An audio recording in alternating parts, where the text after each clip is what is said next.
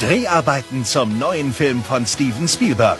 Ein durchgeknallter Professor versetzt eine ganze Nation in Chaos. All diese Richtungen, die sind irgendwo, liegen die noch rum.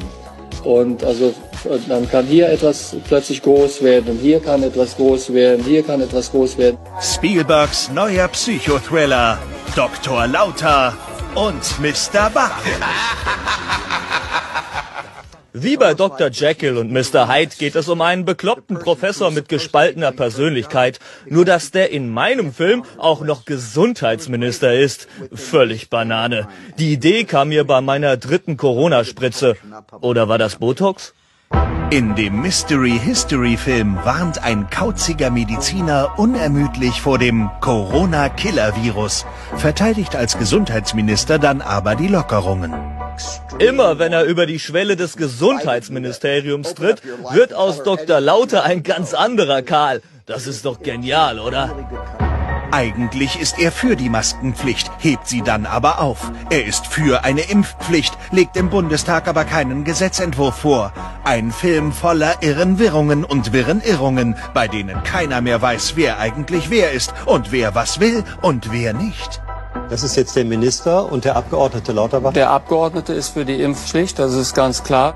Die Handlung ist komplett absurd, den Rest hält Spielberg allerdings sehr schlicht. Die Doppelrolle des Professors ist wenig tiefgründig vom Kölner Pantomimenclown Tönnes Marowski verkörpert. Außerdem spielen etwa drei Viertel des Films an nur einem Set, dem Talkshow-Studio von Markus Lanz. Hier ereignet sich auch die Schlüsselszene des Films.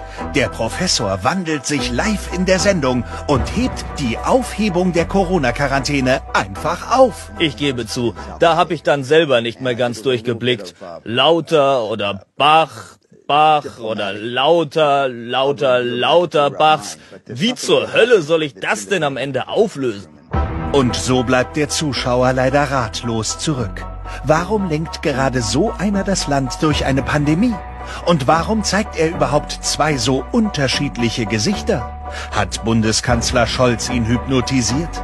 Hat Dr. Lauter sich selbst geklont und dabei einen Fehler gemacht? Oder hat der Koalitionspartner FDP ihm heimlich was ins Getränk gemixt?